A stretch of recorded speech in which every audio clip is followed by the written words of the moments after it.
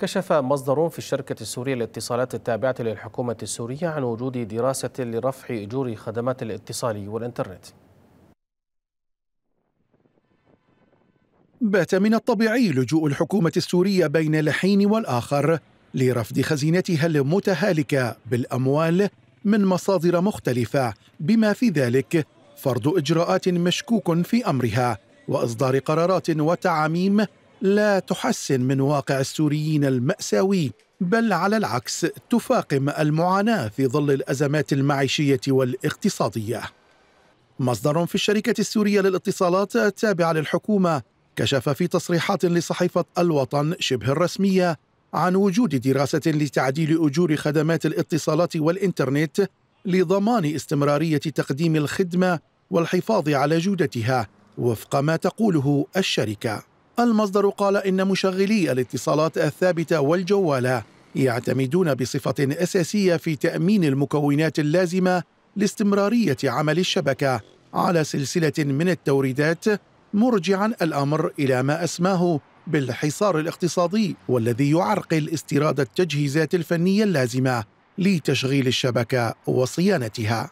قرارات تلقى انتقادات كبيرة ورفضا واسعا إذ يتم اعتبار مثل هذه الخطوات تلبية لطلبات النقابات والشركات وأصحاب المصانع والتجار فيما يقول مراقبون إن الحكومة تسعى في إطار خطط ممنهجة لرفض خزينتها من جيوب السوريين الذين أنهكتهم الحرب وأزماتها. ووفقا لخبراء اقتصاديين فإن رفع أسعار الإنترنت والاتصالات دون دراسات معمقة خطأ كبير إذ الرفع سيزيد من التكاليف بما فيها التعليم ويحد من التثقيف المجتمعي.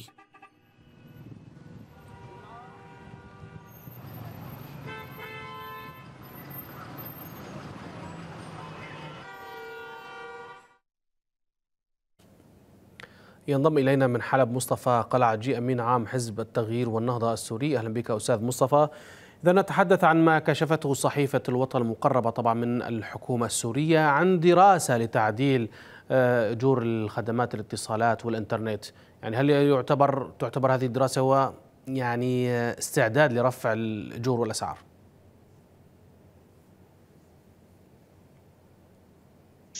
مساء الخير أستاذ علي لحضرتك مساء الخير لجميع المشاهدين. مساء النور. الحقيقة آه، يعني إذا نظرنا إلى إلى صورة المشهد بشكله الكامل نجد أن الحكومة المركزية في دمشق فقدت الكثير من إيراداتها والتي تتمثل في آه، الثروات الباطنية آه، المعابر الحدودية للموانئ البحرية والبرية والجوية. آه، مسألة الجمارك الضرائب المفروضة على المنتجين من الصناعيين والتجار وخلاف ذلك. كل هذه الموارد التي كانت تحظى بها الحكومة السورية للأسف معظمها بات خارج الخدمة، يعني لا يمكن إنك أنت تأخذ آه، من النفط أو من الغاز ومعظم النفط والغاز ليس بيد الحكومة السورية. المعابر الحدودية الموانئ نفس المسألة، موضوع الحصار الممارس على الدولة السورية من 13 سنة و14 سنة وحتى اليوم، كل هذه المسائل تفاقمت يعني، لكن انك تروح آه، تلجأ الحكومة باتجاه رفع أسعار الخدمات هذا الأمر غير منطقي نهائيا. لأنه اقتصادات الدول لا تبنى من الضرائب المباشرة. هي تبنى من الضرائب الغير مباشرة. وبالتالي وقت أنت بتفرض ضريبة مباشرة على المواطن يعني عم بتزيد بإرهاق هذا المواطن وبالتالي أنت مانك قادر إنك تقدم له الخدمة بالمستوى اللي لو نظرنا إلى نفس الخدمات المدفوعه قيمتها في سوريا باتجاه دول أخرى نجد أنها قيمة صفر. يعني مثلا دولة مثل رواندا حديثة العهد يعني ما عندها هذاك التاريخ الاقتصادي والسياسي الكبير جدا. يعني هي من 20 سنة كانت عبارة عن مجموعة من القبائل عم يقتلوا بعضهم. السنة الماضية كان في قمر صناعي أطلقته راوندا والإنترنت اليوم في راوندا بلاش صفر. ما بتدفع قيمته. يعني المواطن جانا. بياخذ إنترنت جاني ما عنده أي قيمه له آه، المشكلة أيضا إنك أنت وقت بتشوف المشرع اللي عم يرفع السعر يعني المسؤول اللي عم باتجاه رفع السعر. قبل فترة تم رفع سعر مياه المياه الشرب في في سوريا. بقين ودريقيش وقتها أنا حكيت على الإعلام قلت السيد طبعا هي المصانع مملوكة لوزارة الصناعة في دمشق. قلنا لهم أخي أنتم عم تقولوا نحن رفعنا أسعار المياه لأنه تكاليف الإنتاج أصبحت كثير كبيرة. طيب رواتب العمال والموظفين هي جزء من تكاليف الإنتاج. ليش ما عم ترفع رواتب الموظفين والعمال تبعينك بنفس النسبة اللي انت رفعت فيها المي. يعني اليوم الموظف في سوريا لو كان هو عم يرتفع راتبه بنفس النسبة اللي عم عم تزيد فيها الدولة آه، الرسوم اللي عم تفرضها عليه كان ما عنده مشكلة نهائيا. لكن انت اليوم السعر آه، لتر نص مي طلع من 16 ليرة سوري من بداية 2010 هلا اليوم حقق 1000 وشوي يعني كم ضعف زادت؟ زادت تقريبا شيء 100 ضعف. هذا 100 ضعف الراتب الموظف ما أخذ ما زاد 100 ضعف ولا زاد بنفس النسبة نهائيا؟ ابدا ابدا. لذلك تدني الدخل يعني مصيبة ومصيبة كثير كبيرة إنك تروح تدفع أجور خدمات أنت أصبحت بحاجة ماسه لها عرفت؟ لكن قيمتها مرتفعة جدا يعني الباهظه اليوم أقل فاتورة تليفون خليوي عم ندفع نحن كل شهر بحدود من يعني 200 ألف ليره سوري 100 الشهر الماضي كانت 183 ألف. هي انترنت ومكالمات خليويه طيب شو؟ نحن ما عم نحكي كله داخلي. ما في عندي ما عندنا مكالمات خارجية اطلاقا ابدا ابدا. لأن المكالمات الخارجية عم نستخدم فيها الواتساب أو عم نستخدم فيها وسائل التواصل الإلكترونية مع الآخر مع يعني مع أبنائنا أو أقاربنا. أو مصالحنا اللي موجودة خارج البلد. لذلك من الخطأ الجسيم إنه نرفع أسعار الخدمات بدون ما يكون في دراسة مسبقة لهي المساله ونعزو المسألة إنه والله نحن عندنا تكاليف إنتاج، تكاليف صيانة، تكاليف بالعكس تماما. يعني أربح استثمار على الإطلاق هو الاتصالات لأنك أنت بس ركبت الأجهزة تبعتها.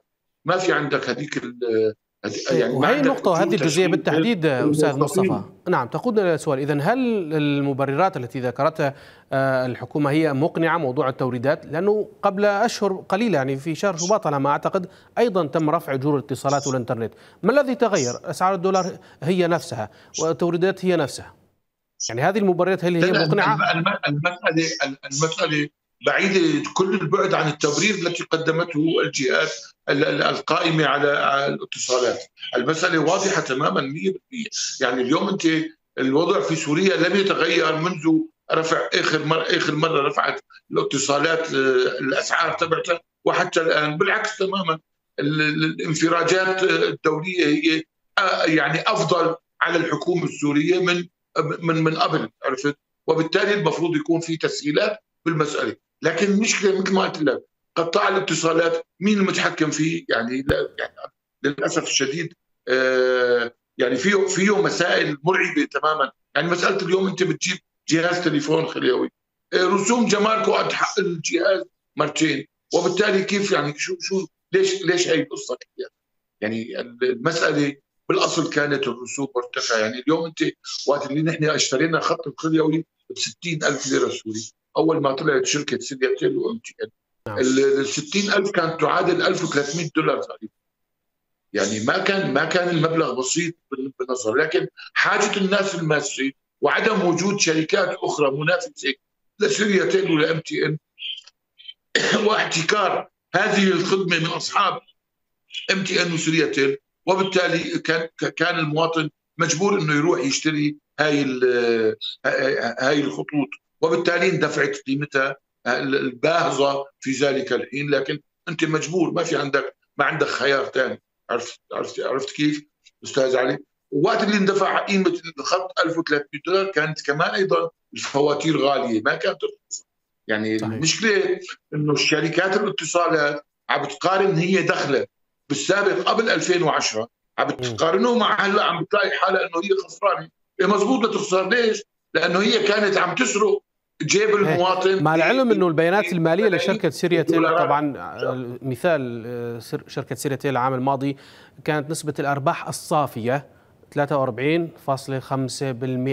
عن عام 2022 التي كانت تقريبا صافي أرباحها 22% فقط. يا أستاذ علي هذا هذا اللي هذا ربح صافي يعني هناك ربح دائما. control أنا عندي control على هذا على هذا الرقم. أنا ما عندي كنترول على هذا الرقم ولا عندي يعني ما تاخذني بالكلمة. أنا خلي خليني آخذ المؤشر الأساسي بهي المسألة. هل رفعت شركة اتصالات بشكل عام؟ كل الاتصالات. رفعت رواتب موظفينا اللي بالقطاع الخاص وبالقطاع العام والتابعين لها بنفس نسبة بالنسبة للرواتب يعني بس نسبة الخدمات اللي رفعت أسعارها؟ أعتقد هذا الكلام مو صحيح 100% يعني اليوم أنت وقت بتلاقي بتاخذ آه، كل الموظفين اللي موجودين بالاتصالات التابعين لوزارة الاتصالات. وكل الموظفين التابعين لشركة إم تي إن ولشركة سورياتيل رغم إنه رواتبهم بالأصل هي رواتب مرتفعة غير رواتب الموظفين الاتصالات. لكن ما تم رفع رواتبهم بنفس نسبة الخدمات اللي عم تقدمها الشركة. وبالتالي أنت يعني المسألة المسألة واضحة تماما 100% أنت عم ترفع أسعار خدماتك عم ترفع أسعار القصص تبعتك 100% لكن ما عم تقدم هاي الخدمة اللي لازم تقدمها. لا للموظف تبعك اللي لازم ترفع له راتبه أنت بنفس النسبة ولا عم بتقدم خدمات توازي. يعني مثلا سرعة الإنترنت بطيئة جدا وبيقطع 100 مرة لو ما يصل متعة القلب العالم البرامج معظمها ما بتشتغل معك ومحجوبة لأنه بدك تشغلها على برامج ثانية لحتى تقدر تدفع تكاليف عليها موضوع الأبراج بمجرد ما تنقطع الكهرباء معظم الأبراج ما يعني الطاقة البديلة تبعتها غير شغالة وبالتالي بس انقطعت الكهرباء راحت التغطية عن هاي الأبراج وبالتالي الخدمة سيئة جدا عبر الشركتين طبعا أنا ما بحكي على شركة واحدة نعم. تنتين نفس القصة نفس الحكي نفس الترتيب نفس الشيء وطبعا كل هاي القصة مربوطة بإيش؟ مربوطة بمسائل ثانية آه، بحجج أعتقد إنها حجج واهية يعني طيب. مسألة الاتصال وهي القصص نعم. هي اللي أستاذ مصطفى نحن دوما صارت يعني بالنسبة لنا أسطوانة مشروخة صحيح إنك تسمع إنه والله حصار وما بعرف إيش وكذا المسألة أعتقد أبعد من ذلك بكثير والمواطن لم يعد يحتمل هذه الضغوطات التي يعني آه، قسمت آه، ظهره عدة مرات نعم. أستاذ مصطفى يعني قلت أن المواطن لم يعد يحتمل هذه الضغوطات، هنا نسأل يعني ما مدى تأثير أي رفع جديد للاتصالات؟ يعني عندما نتحدث مكالمة الاتصال الخلوي اليوم تقريبا 50 ليرة سورية أو باقة الواحد ميجا بايت على الاتصالات تقريبا 19000 سوري، يعني أي رفع هناك من يقول يعني هي مجرد ليرات ليست لها قيمة. لا المسألة يعني المسألة ليست مربوطة حدا آه، قادر إنه هو على الدخل تبعه. يعني اليوم أنت بتكون موظف بمؤسسة إعلامية المؤسسة الإعلامية هي مجبورة إنه تقدم لك إنترنت وتقدم لك اتصالات وتقدم لك كل شيء. لكن المواطن العادي شو بيقدم؟ يعني كان هو يدفع من آه، دخله مثلا بدنا نقول آه، الفاتورة تبعته 15000 أو 20000 ليره نعم. هي ال 20000 صارت 100000 ال 100000 ليرة سوري يعني صارت تشكل تشكل 25% من راتب مدير عام. مدير عام اليوم على مستوى البلد راتبه ما بيتجاوز 390 ألف سوري 400 ألف سوري. الموظفين العاديين رواتبهم بنفس بنفس الوسط تقريبا.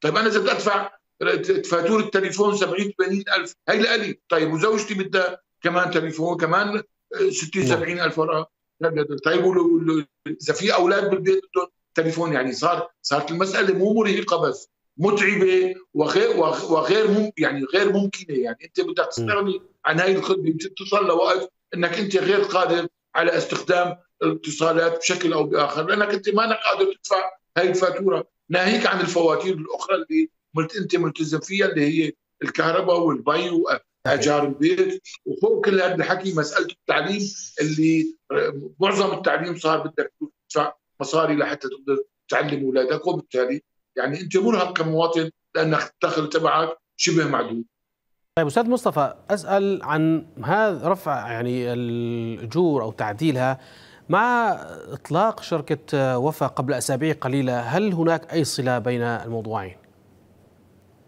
ما ما ما سمعت يعني قبل أسابيع قليلة تم إطلاق خدمة اتصالات وفا في آه، دمشق. هل يمكن ربط هذا الموضوع تعديل الإسعار بإطلاق هذه الشركة خدماتها؟ بلغة التجارة وبلغه الخدمات المفروض إذا في شركة ثالثة دخلت على الخط يكون في نوع تنافس. من المنافسة بين نعم. الشركات الثلاثة وبالتالي المفروض يكون في تخفيض للأسعار مو أنت تروح باتجاه رفع الاسعار تبعتك يعني اليوم أنت كل الدول المجاورة لسوريا بتشوف أنت العروض تبعتها مختلفة يعني بيقولوا لك استخدم الخط الهاتف تبعك مثلا ال 100 دولار بنعطيك عليه 10% حسن 200 دولار تاخذ 30% حسن.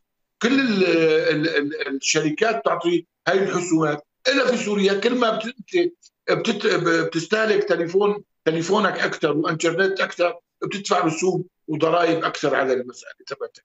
يعني للأسف الشديد الموضوع عندنا بالمقلوب أستاذ علي. نحن آه، يبدو يبدو لهلأ لهلا لكل كل المواطنين في سوريا يعني ما ما ما في ما في لهم بكايات هيك بالمعنى البلدي بحلب بيقولوا البيت اللي ما في له بكاية آه، بضل حقه مهضوم يعني. للأسف الشديد قطاع الاتصالات قطاع مهم جدا لكن من يديره من يسيطر عليه لمن عائداته آه، كيف عم تصير المسألة تبعته يعني نعم. للأسف الشديد. يعني إذا كان إذا كانت هذه الزيادات تصب في النتيجة في خزينة الدولة السورية معلش خير. أمرنا الله نحن كمواطنين بدنا دولتنا في أزمة وبدنا نوقف مع الدولة السورية بشكل أو بآخر. لكن يعني آه، للأسف الشديد نحن عم نشوف إنه في في آه، طيب في, في, في مسائل ثانية من تحت نعم. ما حدا ما حدا ما, ما عم نعرف مين اللي عم يستفيد منه. نعم. أستاذ مصطفى ذكرت ان الاتصالات هو قطاع مهم. هل تأثر يعني بقدر ما تأثرت بقطاع الطاقة سواء الكهرباء أو النفط أو الزراعة أو الصناعة خلال هذه الأزمة السورية. موضوع قطاع الاتصالات. لا لا أعتقد تأثير بسيط جدا. المشكلة فقط في قطاع الاتصالات هي مسألة الطاقة البديلة اللي كانت موجودة بمحط بالأبراج تبع شركة سوريا تيلو إم تي إن. الطاقة البديلة كانت تعتمد على مسألة الألواح الشمسية والبطاريات التخزين. بعض هاي المناطق اللي تعرضت للاحتلال تم سرقتها بشكل عادي. كثير من مقدرات البلد انسرقت وقفت على هاي الأبراج. يعني كانت قادرة الشركة عبر الأرباح الباهظة اللي عم تحققها من المواطنين إنه ترجع تعيد مرة ثانية ترميم هاي الأبراج وبسهولة جدا. يعني ما عندها مشكلة هي. شو اليوم يعني المسألة واضحة كلياتنا كلياتنا بالبلد وبنعرف تكاليف الإنتاج شلون تنحسب وشلون بتصير. أنت اليوم لتقدم خدمات تبعتك يعني عندك مصروف ثابت ومصروف متحرك. المصروف الثابت هو الأجهزة اللي أنت ركبتها أول مرة واللي هي قيمتها بتدفع مرة واحدة. المصروف المتحرك هو رواتب وأجور رواتب وأجور الموظفين تبعينك. وهي بتعرفها حضرتك ما لم يكن هناك زيادات كبيرة على رواتب واجور الموظفين لا قطاع الاتصالات الحكومي ولا قطاع الاتصالات الخليوي الخاص. طيب معناتها وين تكاليف الإنتاج راحت؟ وين الفروقات بالأسعار راحت؟ يعني أنت اليوم احسب الفروقات الكبيرة الباهظه اللي عم يتحملها المواطن بتلاقي إنه يعني ما ما استفاد منها حتى الموظف اللي عم يشتغل بالاتصالات. وبالتالي المسألة يعني فيها فيها عك يعني بالنتيجة. المواضيع مثل هاي القصص كثير كثيره وزيادة يعني زيادة إنك تحافظ على الاقتصاد مو بهي الطريقة. أعتقد لو راحت الحكومة السورية باتجاه الضغط على نفسها قليلا تقليل الهدر بالمال العام آه، أربح بكثير من إنه هي تروح باتجاه إنك أنت تعمل هاي ترفع خدماتك. يعني مثلا أعطيك مثال هلا. وقت اللي نعم. صار امتحانات البكالوريا والتاسع. الحكومة إيش قد كانت عم تخسر؟ لقاء إنه تقطع الاتصالات بحدود الأربع ساعات ثلاث ساعات لوقت ما تخلص قصة الامتحانات بحجة إنك أنت بدك تروح وانه عم يصير تهريب للأسئلة عبر الإنترنت وعبر الاتصالات. لك شو هالموظفين الثقة اللي هن يعني كثير آه وكثير على المفاصل اللي هن عم يديروها وبالتالي والله أنا بخاف من الموظف تبعي فبروح بقطع الاتصالات للأسف لو في إدارة صحيحة للموضوع جهاز صغير جامبر اسمه هذا الجهاز بتركبه بالمدرسة اللي فيها الامتحانات له قدرة في أجهزة لها قدرة محيطها 500 متر أو 1 كيلو متر أو 3 كيلو متر كل جهاز حسب قيمته بتركبوا جوا المدرسة وخلصت القصة كلياتها نعم. وبتكون أنت منعت الاتصال عن المنطقة اللي فيها الامتحانات وضلت خدماتك عم تقدمها أنت وتستفيد منها لكن للأسف يعني في إدارة غير صحيحة للمسألة بشكل واضح. طيب. أشكرك جزيل الشكر من حلب مصطفى قلعجي أمين عام حزب التغيير والنهضة السوري.